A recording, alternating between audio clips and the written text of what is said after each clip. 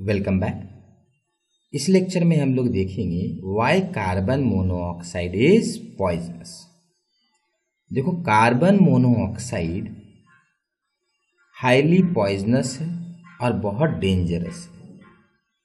देखो डेंजरस इसलिए हो जाता है कि रूम में कार्बन मोनोऑक्साइड फिल्ड है या नहीं है, आपको पता भी नहीं चलेगा। बहुत बार ऐसा होता है कि लोग माइंस में जाते हैं या ड्रेन में लोग उतरते हैं ना, ड्रेन साफ़ करने के लिए। तो कितनी बार क्या होता है कि कार्बन मोनोऑक्साइड पहले से एक्यूमुलेट हो जाता है। और जब लोग वहाँ जाते हैं तो पता भी नहीं चलता है उनको कि कार्बन मोनोऑक्साइड एक्यूमुलेट हो गया है। क्यों नहीं पता चला? क्योंकि कार्बन मोनोऑक्साइड का स्मेल नहीं हो, होता है। Carbon monoxide has no smell तो अगर ये रूम है रूम में सीओ पूरा भर गया और आप यहाँ पर या कोई चला गया कोई स्मेल नहीं है। ये कार्बन मोनोऑक्साइड अब ये ब्रीथ इन करेगा। ब्रीद इन करने से क्या होगा? ये आपके कार्बन मोनोऑक्साइड आपके ब्लड में चला जाएगा।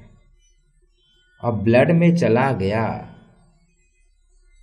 स्मॉल अमाउंट में। ऐसा नहीं, बहुत ज़्यादा अमाउंट स्मॉल अमाउंट में। चला जाने से पर्सन जो होगा, वो बेहोश हो जाएगा अनकॉन्शियस हो जाएगा। वो वहीं पे बेहोश हो जाएगा। अब देखो प्रॉब्लम क्या है? वो हेल्प के लिए आवाज़ भी नहीं लगा सकता है। वहीं बेहोश रहेगा और काफ़ी देर तक इस एनवायरनमेंट में रहेगा ना कार्बन मोनोऑक्साइड के एनवायरनमेंट में तो उसका जो ब्रेन है, वो डेड हो जाएगा। अब है, ऐसा होता क्यों है? सो देखो ब्लड में अपना हीमोग्लोबिन होता है। हीमोग्लोबिन होता है इस हीमोग्लोबिन का काम होता है ऑक्सीजन से बॉन्ड करना। O2 से बॉन्ड करेगा ये हीमोग्लोबिन। और ऑक्सीजन को हर जगह ले जाएगा, ब्रेन में भी ऑक्सीजन को जाके डिलीवर करके आता है। बट अगर आप कार्बन मोनोऑक्साइड ब्रीथ करते हैं, देखो यहाँ पे कार्बन मोनोऑक्साइड है तो O2 भी होगा। मैं ये नहीं बोल रहा हूँ कि O2 नहीं होगा, सब कुछ है। अब कार्बन मोनोऑक्साइड भी आया और O2 भी आया।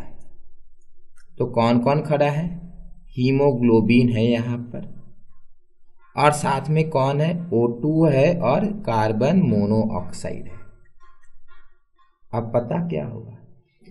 Carbon monoxide has more affinity for haemoglobin compare to O2 O2 bind ही नहीं करेगा हीमोग्लोबिन से। Carbon monoxide will bind with haemoglobin oxygen है। आप रूम में ऑक्सीजन है, हर तरफ़ ऑक्सीजन है ब्लड में भी ऑक्सीजन है। But carbon monoxide has more affinity for haemoglobin ये बाइंड कर जाएगा, इसको जगह भी नहीं मिलेगा बाइंड करने का। अब क्या हुआ? ब्रेन में ऑक्सीजन जाना बंद हो गया। ब्रेन जो है धीरे धीरे अनकॉन्शियस हो जाएगा। और बहुत देर तक अगर आप वहीं रह जाएँगे तो ब्रेन जो है वो डेड हो जाता है। This is why carbon monoxide is poisonous because it binds with haemoglobin and do not let haemoglobin bind with oxygen as a result haemoglobin can not transport oxygen अब बहुत डेंजरस है। आप ब्रीथ कर लेते हैं, उसे ले लेते हैं अंदर। पर आपको पता भी नहीं चलता है। क्यों? कोई स्मेल नहीं है। और कोई अनकॉन्शियस वगैरह जब तक आप हो जाते हैं, उसके बाद क्या होगा? इसलिए, जब कहीं फायर लगता है ना बिल्डिंग वगैरह में तो बहुत कम लोग जलने से मरते हैं।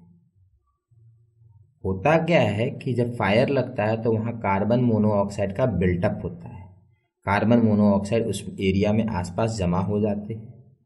आदमी जो भागने की कोशिश करता है, वो बेहोश हो जाता है बिकॉज़ ऑफ़ कार्बन मोनोऑक्साइड और वो भाग नहीं पाता है, उसके बाद वो जल जाता है या अगर जलता भी नहीं है तो because of excess intake of carbon monoxide the person dies ठीक है? तो ये ध्यान रखना है।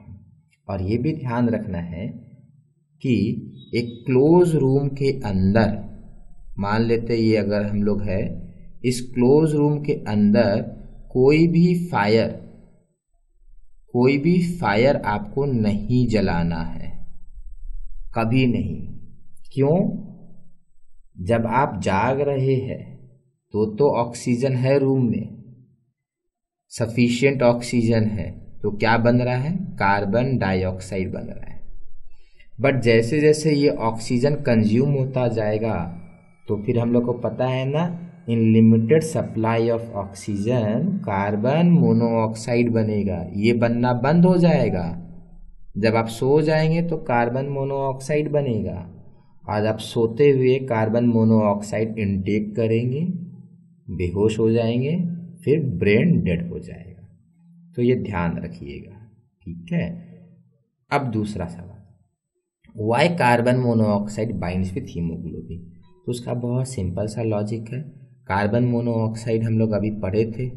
कार्बन मोनोऑक्साइड का स्ट्रक्चर ये होता है this is plus this is minus this has got lone pair because of this lone pair carbon binds with haemoglobin because of this lone pair, carbon act as a ligand. Carbon act as a ligand and binds with hemoglobin.